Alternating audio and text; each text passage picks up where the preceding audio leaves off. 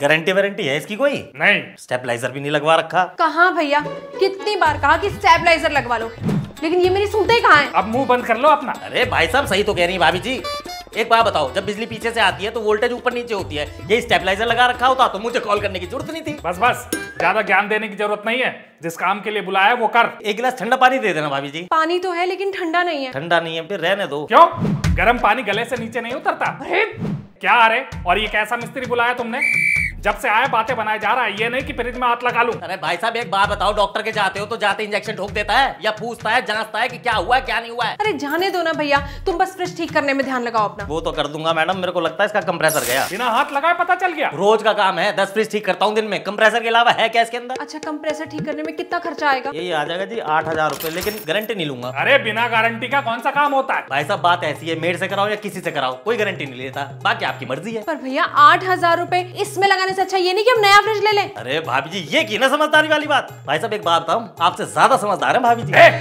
ज़्यादा बोला तो अभी टांग पे टांग रख के चीर दूँगा। ऐसे कैसे चीर देगा अरे भैया तुम तो लड़ने लग गए। मैं कहा लड़ाई कर रहा हूँ? ये आदमी बात कर रहा चीरने की। अरे उनकी तो आदत है बात बात पे गुस्सा करने की। आदत ठीक नहीं है ठीक करवाओ। तू बताएगा क्या ठीक है और क्या नहीं? अरे तुम ही शांत हो जाओ दो मिनट के लिए। एक तो वो तुम्हारे फ़ायदे की बात कर रहा है और तुम उसी से लड़ रहे हो। क्या फ़ायदे की बात बता रहा है आठ हज़ार पुराने फ्रिज में लगाने से तो अच्छा यही है ना कि हम लोग एक नया फ्रिज ले आए। कल को चार लोग तुम बस चार लोगों की फ़िक्र करना। एक बात बताओ इस पुराने फ्रिज का क्या करोगी? अरे ये तो मैं खरीद लूँगा। भाभी ये लो हज़ार रूपए। कोई ज़रूरत नहीं है पैसे लेने की। क्यों? क्या हो गया? ठीक ठीक रेट लगाओ और इसे बना दे। अरे कब तक रख दोगे इस पुराने से? फ्रिज को?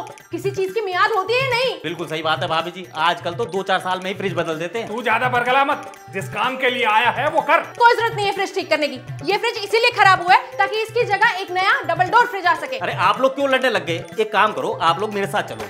मेरे बड़े भैया का ना फ्रिज का शोरूम है। वहाँ जाके कोई भी फ्रिज उठा लो। बात रही इस कबाड़े की तो ये वहीं एडजस्ट करवा दूँगा। और इसमें तेरा कमीशन अरे कमीशन की बात कहाँ की है मैंने? अरे एक तो अगला तुम्हें सही राय दे रहा है। ऊपर से तुम क्या सही राय दे रहा है ये? ऐसे मैकेनिकों को अच्छी तरह जानता हूँ मैं। दो चार बीमारी फालतू बताकर नया सामान खरीदवा देते हैं अरे भाई साहब मेरे से ही गलती हो गई जो मैंने नए फ्रिज की राय दे दी। कैसे ग्राम विकास अधिकारी हो तुम? एक बात बताओ जब यही लोग बाहर जाते होंगे तो क्या छवि बनती होगी तुम्हारी? कभी सोचा है? तो क्या करूँ? छवि के चक्कर में लुट जाऊँ? सारे पैसे उड़ा दूँ? अरे दस बीस लाख का फ्रिज नहीं आता जो तुम्हारी जेब झड़ जाएगी। और एक बात बोलूँ जितने कंजूस तुम हो ना शुक्र बनाओ भगवान का कि इतनी सुंदर सुशील औरत टिकी हुई है। कोई और होती ना भग जाती। सही बात है। क्या सही बात है? और तुम ज़्यादा हाँ में हाँ नहीं मिला रही इसके?